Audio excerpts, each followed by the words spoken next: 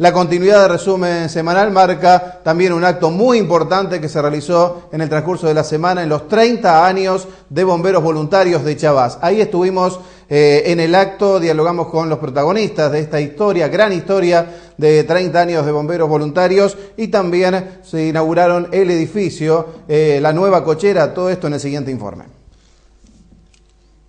Bueno, hace 30 años atrás, ¿en qué pensaban? La verdad, jamás esto. Eh, el inicio era duro y ni mirábamos hacia adelante, pues francamente el presente nos tenía preocupado porque no teníamos nada y había que encarar como se podía. Así que bueno, esto es un sueño, la verdad, porque nunca me imaginé que íbamos a estar 30 años por empezar. Y cuando empezamos, ni siquiera sabíamos bien, francamente, o teníamos idea de lo que iba a ser bombero eh, y las experiencias que íbamos a tener en el tiempo, por otro lado. ¿Y por qué te decidiste a ser bombero de ese primer momento? Mira, eh, te digo la verdad, yo cuando, cuando se hace una reunión acá que la gente se ocupa de decir que, que tiene que tener un cuerpo bombero, citan a las instituciones y le piden, porque para Chavás para ese momento ser bombero, la verdad, ni. Entonces le piden a las instituciones que manden representantes. A mí la firma donde trabajo me pidió si podía venir junto con otros muchachos y vine, pero te digo la verdad porque me mandaron la firma, a lo que hoy agradezco a morir. Pero en ese momento no fue una iniciativa mía, se dieron de esa manera las cosas, porque había que juntar gente de alguna manera. Y bueno, yo fui parte de eso, que quedé, porque después, bueno, la sangre te empieza a decir que estabas para esto, así que bueno, acá estamos. En estos 30 años fue cambiando mucho, de las instalaciones, la capacitación, ¿cómo lo fuiste viviendo? Mira, yo creo que lo, eh, es un, poco una historia de vida, eh. acá pasó la vida de, muchos de nosotros, así que a lo mejor nosotros, lo, que hace más años que estamos en esto, no notamos mucho los cambios, eh, de un momento para el otro. Sí, hoy, hoy cuando miramos para adentro nos damos cuenta de que, bueno, de que han pasado muchos años, de que eh, sentimos hasta una sana envidia hacia los, los, bomberos nuevos, porque, bueno, venir y encontrar esta institución de pie, con instrumentos, con, con instalaciones, con gente adentro que trabaja, eh, un poco da, da la, la, nostalgia de, bueno, de haber venido acá, estaba el terreno pelado y no había vehículos siquiera pero eh, eso mismo hace dar ganas de seguir, de seguir trabajando, de seguir eh, estando acá adentro, de seguir participando, ayudándolo a, la gente que entra nueva.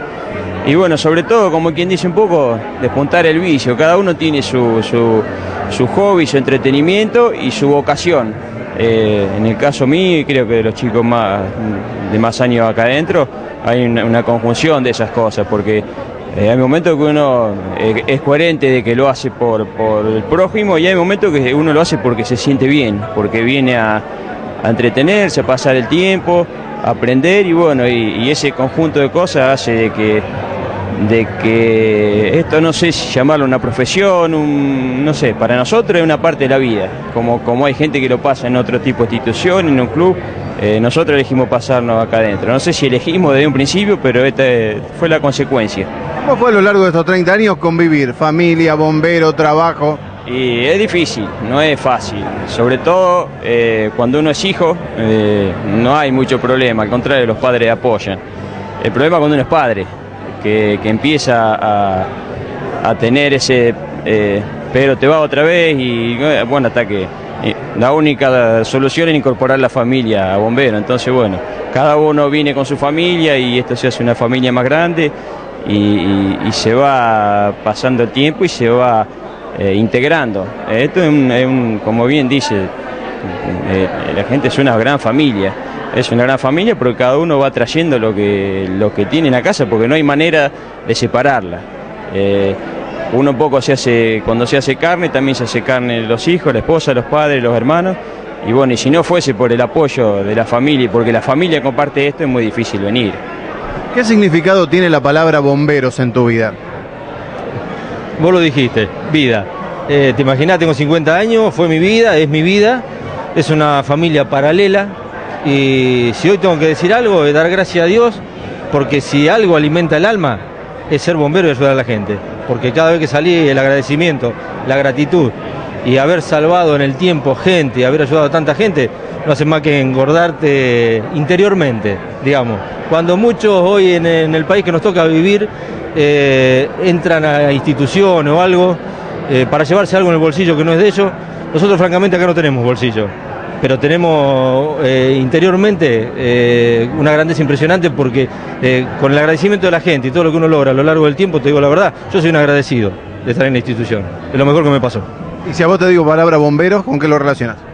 Te podría decir de que lo mismo que, que Sergio, es, es una parte de la vida y es reconfortante, es algo que no sé si uno lo aconsejaría hacer porque eso está en cada uno, no, no, esto, no se nace con esto, yo creo que, que se nace con la vocación de amor al prójimo, pero que después se va haciendo con el correr de los tiempos porque no hay, o sea, no hay otra actividad que, que en mi caso y que en el de muchos chicos eh, sea tan reconfortante. Eh, es un ida y vuelta. Uno trabaja para ayudar al prójimo y el prójimo lo reconforta a veces con la palabra de cimiento y a veces no porque no puede, pero sí a través de los años uno se va encontrando con gente que, que sin que uno se acuerde, porque pasaron tantas cosas, tan, tantos servicios que se han dado, eh, y nosotros no nos acordamos de la cara de la gente, a veces uno no, la, no trata de memorizarla tampoco, pero sí la gente que vos le diste una mano alguna vez te reconoce en cualquier lugar y donde te encuentres, dice, me acuerdo de usted una vez en tal lugar que me ayudaron y bueno, eso es, es impagable.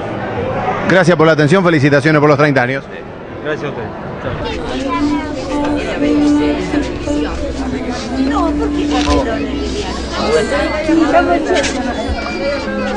Esperen, chicos.